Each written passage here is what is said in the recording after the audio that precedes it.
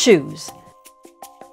They're more than just foot coverings, they're a statement, a reflection of your personality, a canvas for self expression.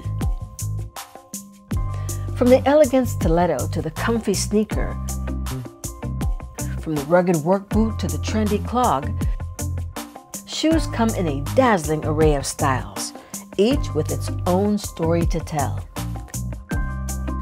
Some people are so passionate about footwear, they even have shoe fetishes. No judgment here, folks. Whatever floats your boat. For me, and probably for you too, I love a stylish shoe, but it also has to be comfortable. Footwear is big business, a billion dollar business propelled by billion dollar brands. These brands are elevated by celebrity endorsements, some even owning their own shoe brands.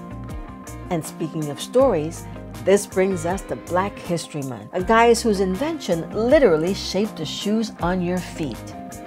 John Ernst Matt Matzeliger. No, he wasn't a famous athlete or a civil rights leader. He was a shoemaking wizard, a Surinamese immigrant who revolutionized an entire shoe industry and whose story is a perfect blend of ingenuity, perseverance, and a healthy dose of wait, who invented that?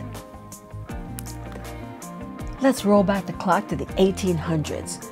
Shoes were expensive, like really expensive. Why? Because every single pair was painstakingly crafted by hand.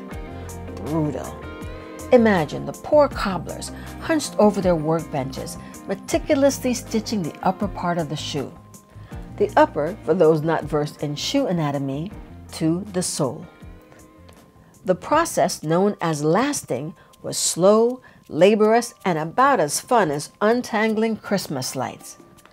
A skilled cobbler might crank out 50 pairs of shoes a day.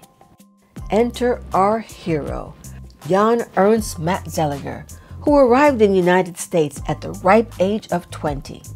He saw the inefficiency of the shoemaking process and thought, hmm, there's gotta be a better way. Probably while wearing some seriously uncomfortable shoes. Now, Matzeliger wasn't your typical inventor. He didn't have any fancy degrees or a well funded lab. He was a resourceful guy who eventually created a prototype for a shoe lasting machine. Was this a part of the Industrial Revolution for shoes? Yep. His invention wasn't just a minor improvement, it was a game changer. Matzeliger's machine could attach the shoe's upper to the sole automatically, making the process faster and more efficient than a room full of cobblers jacked up on Red Bull. Instead of 50 pairs of shoes a day, his machine could churn out hundreds, even upwards of 700. That's like going from dial up internet to fiber optic overnight.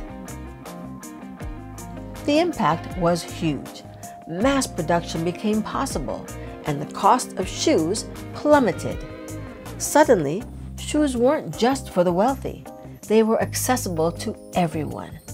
You could even buy two pairs. Shoes became way more affordable.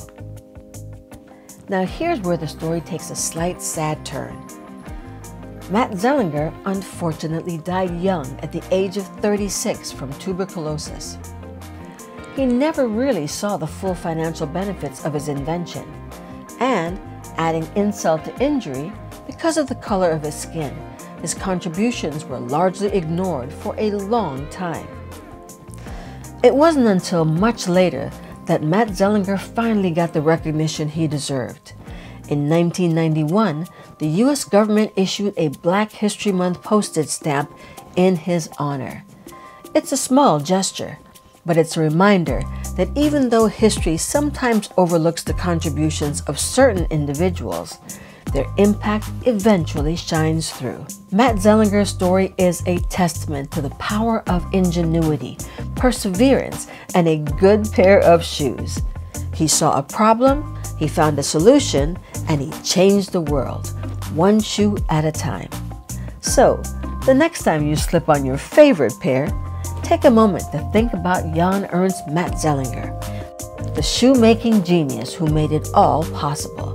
Just give your feet a little extra wiggle to show your appreciation. They deserve it. After all, they've walked a mile in his shoes. John Ernst Matzeliger, 1854 to 1889, inventor of the lasting machine.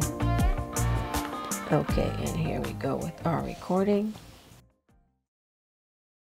The City of Miami Gardens presents JITG Music Fest. New Edition. Toni Braxton. DJ Cassidy's Pass the Mic Live. Starring Ja Rule, Fat Joe, and Remy Ma. Slick Rick and Dougie Fresh. Beenie Man. Xscape. Coco Jones. Kem. Also, a special set featuring Miss Lauryn Hill, Wyclef Jean, YG Marley, Busta Rhymes, Doechii, and many more. JITG Music Fest. March 8th and 9th at Hard Rock Stadium. Tickets at jazzinthegardens.com.